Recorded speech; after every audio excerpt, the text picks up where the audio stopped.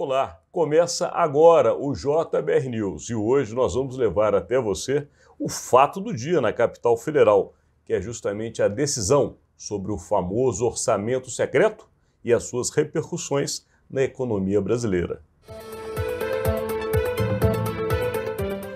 Rodolfo, o assunto no final das contas, como dizia o Carlyle, né, aquele famoso ex-assessor do ex-presidente americano Bill Clinton, no final das contas, tudo é economia, né? É, é o dinheiro estúpido. É o dinheiro estúpido.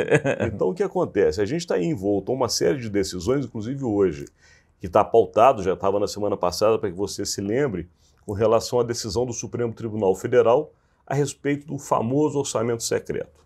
Que é esse orçamento que deu condições à Câmara e ao Senado de definirem não somente as verbas, mas como a execução das próprias. E isso aí, claro, mexeu com o país como um todo. Dentro deste bojo está uma negociação para se aprovar a famosa PEC da transição, né, Rodolfo Lago? Com então, certeza. ou seja, explica aí como é que essas coisas se, se envolvem. É, Alexandre, é, é, a negociação da PEC da transição na Câmara nesse momento, ela tem um nome e sobrenome. O nome é orçamento, o sobrenome é secreto. Ou seja, tudo passa por aí. É, é, é, o que está muito claro é que a PEC ali na Câmara não vai andar enquanto não tiver definido o que o Supremo vai fazer com o orçamento secreto. E isso é uma coisa que a gente já tinha meio dito por aqui. Uhum. É, hoje o Supremo está pautado, então, a, o, o julgamento, pelas informações que se tem. A ministra Rosa Weber, que é a relatora, faz, tem um voto muito longo, né, que deve tomar, então, é, todo um primeiro momento.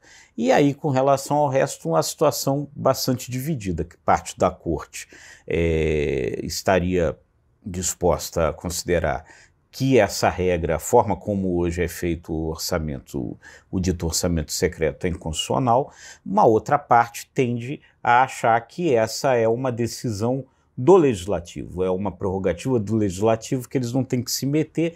Em torno disso, a coisa vai seguir, é, alguns imaginando que pode chegar aí no meio termo, quer dizer, não acaba de vez, mas se regula de alguma forma, né?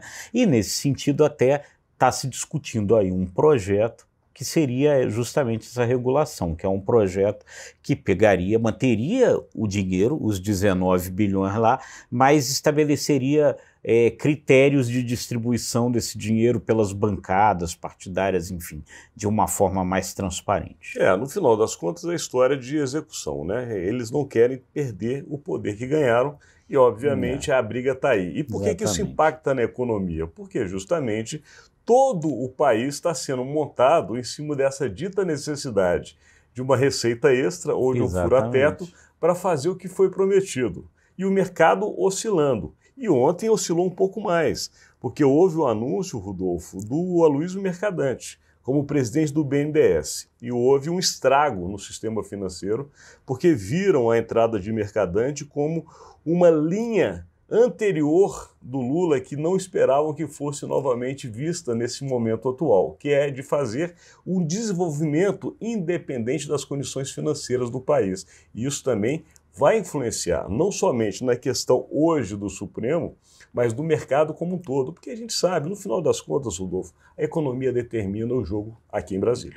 Então, você, você tem aí, é, é, lá na, na, na campanha, ali ainda no segundo turno, o mercado tinha ali uma expectativa de que o Lula, em função ali das dificuldades todas, colocaria ali no comando do Ministério da Fazenda um nome mais técnico, né? Apareceram os pais do Real e tal. Isso não aconteceu. Botou lá o companheiro Fernando Haddad, né?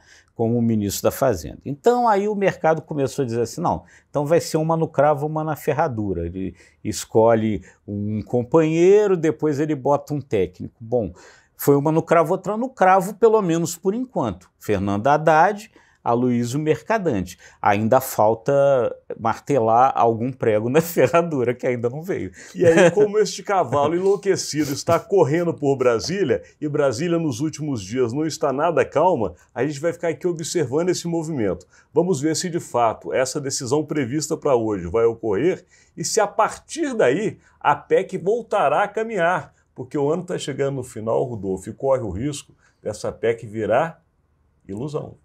É, pois é. Como já dizia aquele sambista lá, o tempo ruge. E aqui está rugindo forte. Terminamos esse conteúdo de hoje agradecendo a sua audiência. Nós, imagem e credibilidade. E agradecemos também o nosso parceiro, o Jornal de Brasília. Até amanhã.